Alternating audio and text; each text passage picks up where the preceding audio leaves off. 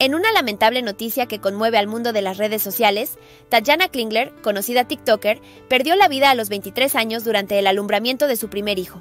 La noticia fue confirmada por su esposo, Thorsten Klingler, quien con profundo dolor compartió la partida de Tatjana mientras daba a luz en un hospital de Alemania el 6 de julio.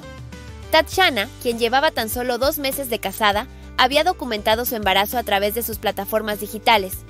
Junto a Thorsten, anunció a sus seguidores que el parto estaba próximo, la pareja, radiante de felicidad, compartió un video desde el hospital de Halle, Alemania, anunciando el inicio del proceso de inducción, sin presagiar el trágico desenlace.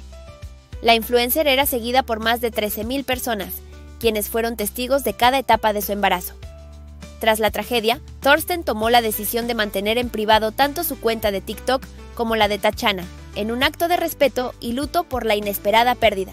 Sus seguidores expresaron sus condolencias y apoyo, la causa de la muerte de Tatjana fue una embolia amniótica, una condición rara pero grave que ocurre cuando el líquido amniótico entra en el torrente sanguíneo. Esto provocó problemas cardíacos y respiratorios, llevando a una caída crítica en su presión arterial. Mientras tanto, su hijo Joshua Herbert Klingler permanece en cuidados intensivos, luchando por su vida en coma inducido.